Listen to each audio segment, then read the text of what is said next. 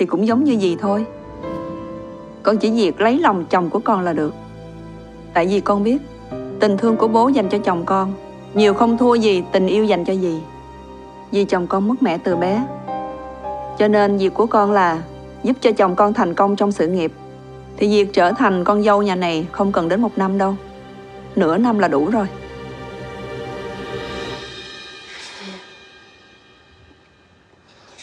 Dám xuất sự trước mặt mình sao?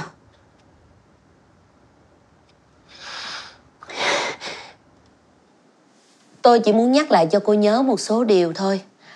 Ở trong đây có ghi rất rõ là cô với Hải Đăng á chưa đăng ký kết hôn, chỉ mới ở chung một nhà thôi. Cho nên trong vòng một năm, nếu như cô gây ra bất cứ điều gì bất lợi cho gia đình tôi á, thì cô sẽ bị đuổi ra khỏi nơi này ngay lập tức. Con biết mà. Nhưng tự nhiên, tại sao dì lại đề cập đến chuyện này? Là do thái độ của cô thôi. Đến đây rồi á, phải nên biết điều một chút. Không ai trong cái gia đình này muốn chấp nhận cô hết. Nếu như không phải vì cô dùng thủ đoạn để giăng bẫy Hải Đăng á, thì không bao giờ cô đặt chân được vào ngôi nhà này đâu. Cho nên đừng có tự mãn sớm như vậy. Cô không thể trở thành thành viên của gia đình tôi được. Dì nên nói chưa thì đúng hơn. Tại vì nếu con cố gắng, con vẫn được chấp nhận mà, đúng không? Nhưng mà tôi lại muốn nghĩ theo cách ngược lại. Là nếu như cô cư xử không đúng mực á, thì cô sẽ bị đuổi ra khỏi căn nhà này bất kể lúc nào. Cho nên cô đừng có bày trò mà thử thách sự kiên nhẫn của tôi. Còn nếu như cô nghĩ là chỉ cần lấy lòng được chồng tôi á, thì cô càng sai. Tôi nói cho cô biết, với chồng tôi á, chỉ cần màu trắng tôi nói màu đen là ảnh sẽ tin. Ý của dì là con đã chọn sai đối tượng. Người mà con cần lấy lòng chính là dì, chứ không phải bố chồng của con, có đúng không? Nhưng mà con không muốn vậy đâu. Cô nói cái gì? Cả dì và con đều hiểu đối tượng mà mình cần đối phó ở trong nhà này là ai. Tại sao phải mất công giả vờ như vậy chứ? Con sẽ không làm theo ý muốn của dì.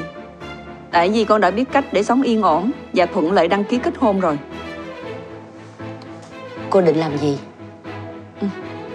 Thì cũng giống như dì thôi. Con chỉ việc lấy lòng chồng của con là được. Tại vì con biết tình thương của bố dành cho chồng con nhiều không thua gì tình yêu dành cho dì. Vì chồng con mất mẹ từ bé.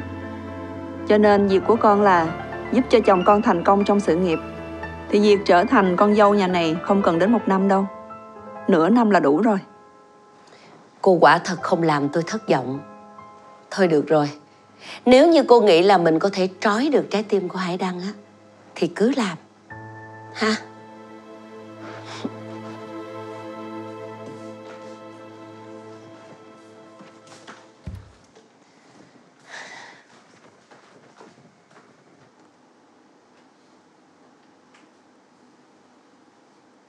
Em đã nói rồi mà Suốt 10 năm qua, Không phải chỉ một mình anh đau khổ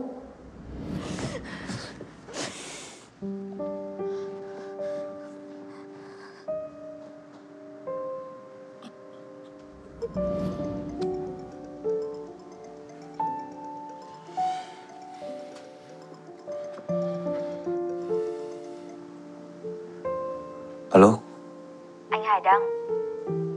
Qua chỗ em được không? anh...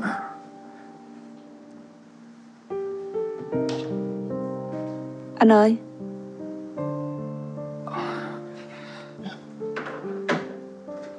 anh nói chuyện điện thoại với ai mà tập trung quá vậy? À, người ta gọi nhầm số ấy mà. Anh ăn chè hạt sen nè. Em cứ để đấy cho anh. Dạ.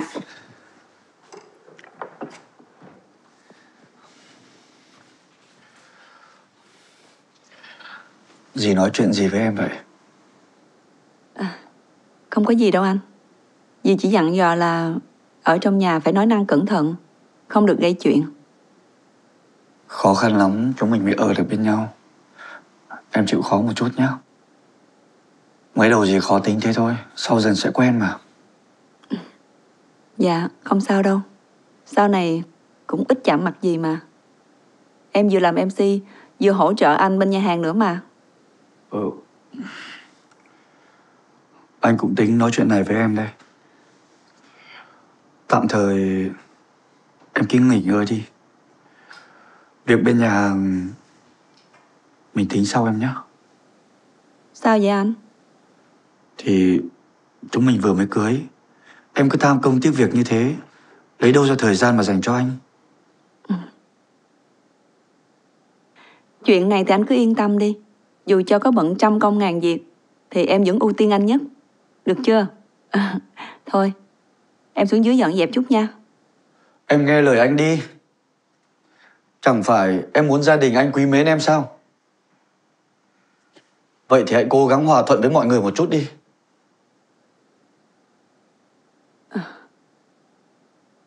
Tự nhiên em nhớ lại ngày đầu em vào làm việc tại Tinh Hoa F&B. Lúc đó anh cũng ngăn cản, không cho em tham gia kiêm nhập sếp. Nhưng rồi, cuối cùng, em vẫn là người tham gia cuộc thi. Em còn giúp cho Tinh Hoa Daily tạo được hiệu ứng truyền thông nữa. Anh còn nhớ không? Tình huống lúc đó cũng y như bây giờ. Em chỉ muốn cố gắng hết sức để mọi người chấp nhận em làm con dâu. Em làm tất cả những chuyện này cũng chỉ là muốn tốt cho anh thôi. Cho nên anh đừng ngăn cản em nữa nha.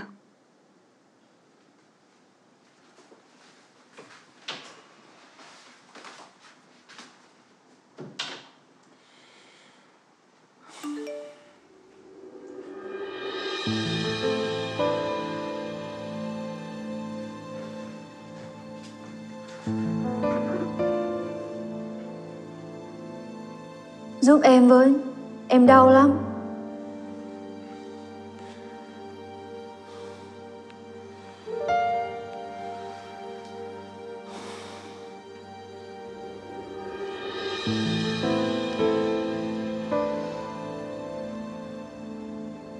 Thì cũng giống như gì thôi. Con chỉ việc lấy lòng chồng của con là được. Tại vì con biết, tình thương của bố dành cho chồng con, nhiều không thua gì tình yêu dành cho dì. Vì chồng con mất mẹ từ bé. Cho nên việc của con là giúp cho chồng con thành công trong sự nghiệp. Thì việc trở thành con dâu nhà này không cần đến một năm đâu. Nửa năm là đủ rồi.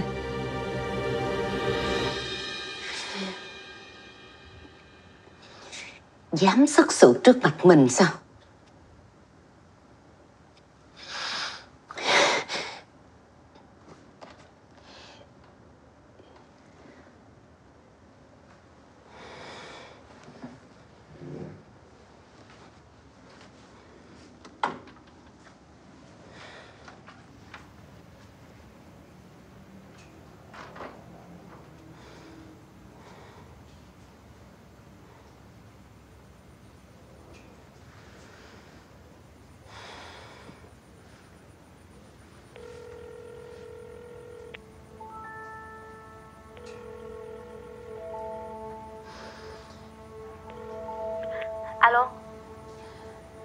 Chuyện tới đâu rồi?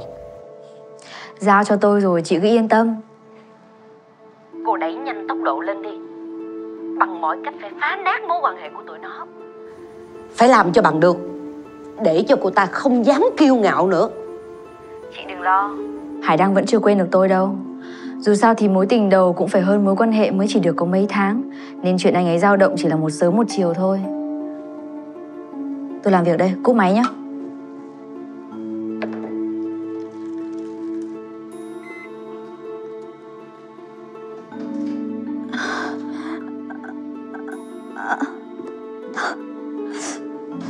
sao vậy? Có chuyện gì thế? Em xin lỗi Muộn như này vẫn còn làm phiền anh Em bị đau ở đâu? Em ngồi xe lăn nhiều Nên bị đau lưng Mà em không để ý Hết mất thuốc rồi Anh mua giúp em được không? Chỉ dẫn thuốc đây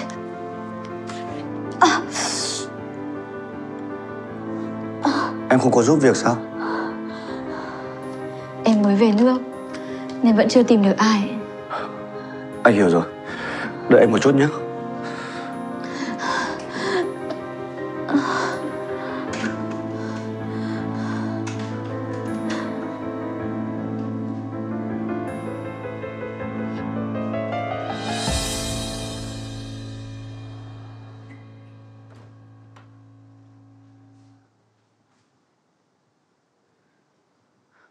Ảnh ra ngoài rồi sao?